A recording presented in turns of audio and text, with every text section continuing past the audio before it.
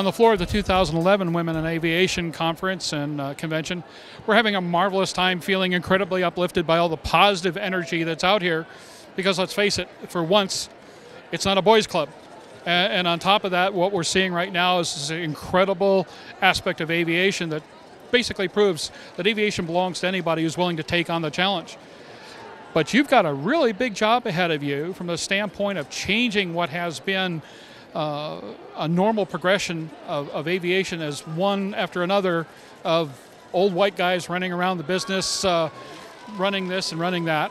And it's got to change. How are you going to do that?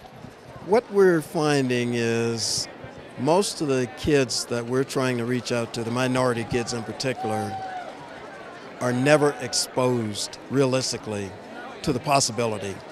And we're finding when people such as myself get into aviation, we ask the same question why wasn't there a program like this when I was younger? Where somebody who's already in this industry will come out, talk to me, and let me see that there's someone who looks like me actually here. So, what we're finding now is we go to try to find youngsters in areas that are not normally served by the aviation community.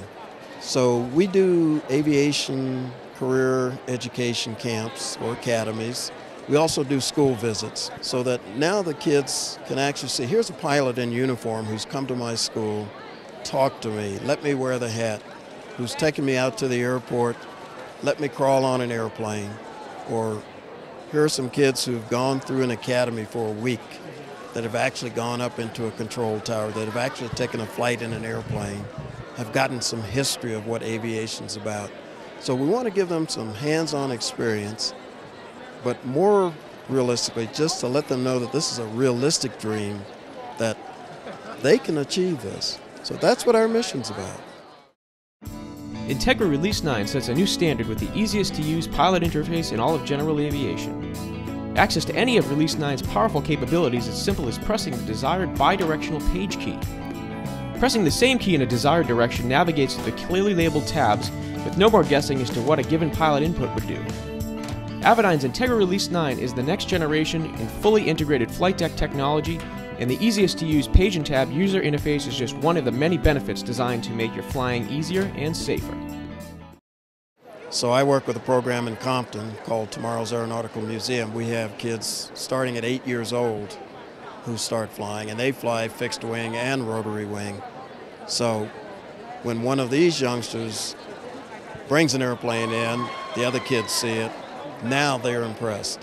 That removes all of the mystery from it. And when they hear a child who's in their peer group say, I've been flying since I was eight years old, I just can't get my license yet makes much more of an impact than you or I speaking about it. So once we get the youngsters started, now we've got a wave going that uh, is self-generating. So I think we've gotten beyond the period where you know it's not possible for them to see anybody realistically out there. It's there now. It's just a matter of getting out there and getting the message out. We also realize that not every student wants to fly. We'll give them an introduction. Kids love airplanes, but not everybody wants to fly for a living. However, the introduction of flying sets them on a path to discipline, motivation, and just trying to learn how to do things and taking it to a successful conclusion. So aviation is just an extremely good vehicle for giving that to kids. And then once they get enamored with the smell of the JP4 and kerosene and the fun of flying the airplane, yeah, then we let them know, oh, by the way, you do have to know some science, some math, some engineering. So the STEM is in there. And okay, it's nice that you push the button and all that, but what happens when you put a mixture together? What are you mixing? What happens when the propeller turns? Why does this wing lift the airplane? What is a three degree glide angle? Uh, how does the distance, time, and speed related. So they get to do all of that and realize that all the stuff they're learning in school has a reason behind it. Freedom through performance. At Cirrus, performance is not simply the measurement of a single design parameter. Rather, it's a total package. It's optimum balance of speed, efficiency, comfort, safety, ease of flight, and quality. We call it Cirrus Flying 2.0. Aren't you ready to feel the freedom?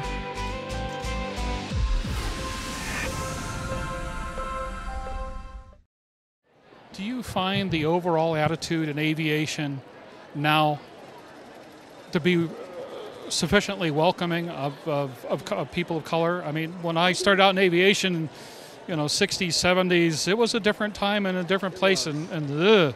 Yeah. Um, and you go back to the history of the Tuskegee Airmen who did great things but were denied the possibility of even flying commercially. And after a few lawsuits, it was opened.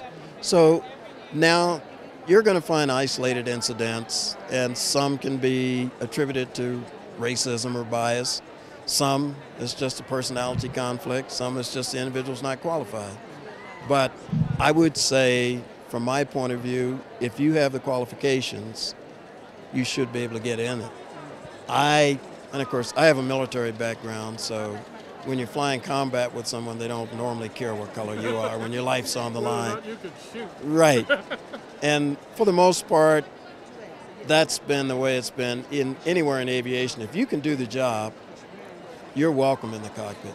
Now, some people have some built-in biases. You know, did you get your job through affirmative action? Do you have an attitude? What's your qualification? And almost everybody's going to check your pedigree when they get in the cockpit with you. That's normal. So I don't read anything into that, mainly because I know I've got my credentials. So my experience has been everything has been positive. to the young person or the parent of a young person who may have an interest and wants to know more about what you can do to help them climb that ladder, how do we get in touch with you? How do we find out more? What can you do? Okay, my life's an open book. You can go to our organization's website, www.obap.org, or you can just send me an email, f4tony at aol.com.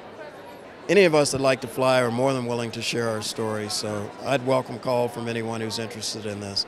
And if I get a chance to help any youngsters get into the field, I'm all for it.